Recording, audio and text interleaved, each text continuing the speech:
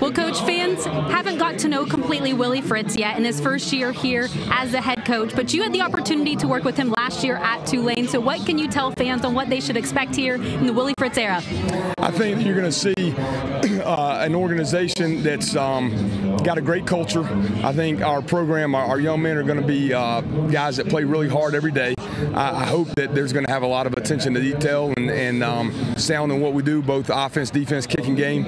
Um, he does a great job from a leadership standpoint. He's been doing this a long time, and he's a really fun guy to work for and a really fun guy to play for. And hopefully, we'll come out and play really hard this year. Well, 15 practices are in the books. They've gone by fast, but what do you feel like this group has accomplished this spring? Sure, I think that we've uh, we've laid a foundation of, of, things that can can help us be successful during the hard times that are to come in the fall.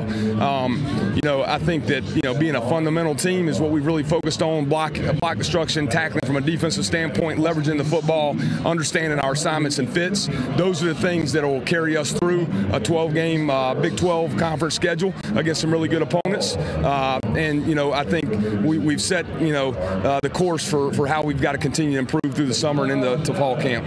So I will tell you this, Case Keenum, obviously an offensive guy. He's up in the booth calling the game, but he has been very complimentary of the defense today. As you look at the unit and what you have the potential doing this year, who are some guys that excite you?